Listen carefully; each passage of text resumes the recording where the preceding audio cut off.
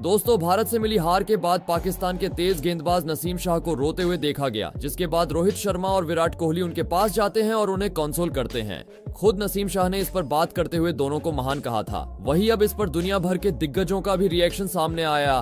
गौतम, गंभीर ने तो इस पर चौंकाने वाला बयान दे दिया है। उन्होंने रोहित और कोहली को ही लताड़ लगा दी है। जी हाँ बताएँगे पूरी खबर तो इस वीडियो को अंत तक ज़रूर देखें। और अगर आप भी वर्ल्ड कप का हर एक मैच लाइव फ्री में देखना चाहते हैं तो आप हमारे टेलीग्राम चैनल को ज्वाइन कर लीजिएगा। लिंक आपको डिस्क्रिप्शन और कमेंट सेक्शन में मिल जाएगा। दोस्तों टी वर्ल्ड कप का भारत पाक मैच, जहाँ इंडियन फैंस के लिए खुशियाँ लेकर आया वहीं पाकिस्तानी फैंस रोते नज़र आए। रविवार को भारत पाक के बीच खेले गए मुकाबले में टीम इंडिया ने पाकिस्तान को छह रन से हराकर जीत हासिल कर ली। पाकिस्तान की इस हार के बाद आखिर में बल्लेबाजी करने आए नसीम शाह अपने इमोशन पर कंट्रोल नहीं कर सके। नसीम जब हार के बाद मैदान से बाहर जा रहे थे तो वो रोने लगे। उनके साथ चल रहे शाहीन अफरीदी उनको चुप कराते नज़र आए। बता दें, नसीम शाह ने आखिरी में टीम को मैच जिताने की पूरी कोशिश की थी। उन्होंने चार गेंदों में दस रन बनाए। आखिरी तीन गेंदों पर पाकिस्तान टीम को जीत के लिए सोलह रन की ज़रूरत थी। और उसके बाद नसीम शाह ने दो चौके लगाए, जिस वजह से पाकिस्तान सिर्फ़ छह रन से हारी। वही इक्कीस साल के इस गेंदबाज ने पाकिस्तान के लिए गेंदबाजी में भी इक्कीस रन देकर तीन विकेट लिए थे। मैच हारने के बाद जब नसीम वापस जा रहे थे तो ज़ाहिर तौर पर वो दुखी दुखी थे और मैदान में ही रोने लग गए। इस वक्त पर रोहित शर्मा ने आगे बढ़कर उन्हें सांत्वना दी और उनकी पीठ थपथपाई। वहीं फिर वहाँ विराट कोहली भी आए और उन्हें कुछ समझाते हुए दिखे। इस पर बात करते हुए नसीम शाह ने कहा था कि रोहित और कोहली महान हैं। अपना सेलिब्रेशन छोड़ वो दोनों मेरे पास आए। इस चीज़ ने मेरा दिल जीत लिया। वही दोनों ने मेरी गेंदबाजी की भी तारीफ़ की, जिसे सुनकर मुझे अच्छा लगा। वही दोस्तों, रोहित और कोहली के इस जेस्टर पर अब दुनिया भर के दिग्गजों का भी रिएक्शन सामने आया है।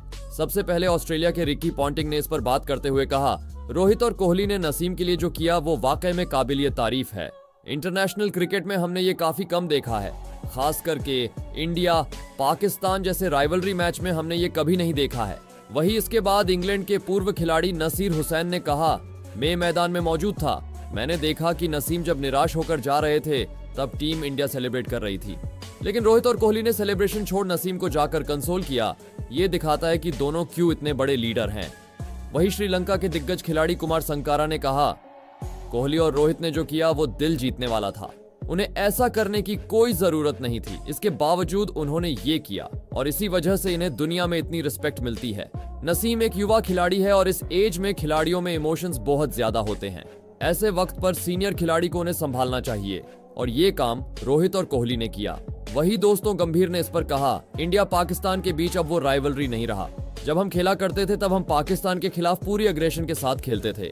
लेकिन अब ऐसा कुछ देखने नहीं मिलता है। अभी ऐसा लगता है जैसे कोई फ्रेंडली मैच चल रहा है। अगर भारत ये मैच हारता और कोई भारतीय खिलाड़ी रोता, तब क्या पाकिस्तान का कोई खिलाड़ी ऐसा करता? मुझे नहीं लगता कोई ऐसा करता। ये रोहित और कोहली की महानता है, लेकिन मेरे हिसाब से उन्हें ऐसा कुछ करने की ज़रूरत नहीं थी। शाहीन अफरीदी को छोड़कर कोई पाकिस्तानी खिलाड़ी नसीम के पास नहीं आया तो रोहित और कोहली को जाने की क्या ज़रूरत थी? दोस्तों, सभी दिग्गज रोहित और कोहली की तारीफ़ कर रहे हैं, लेकिन गौतम गंभीर की इस पर कुछ और ही राय है।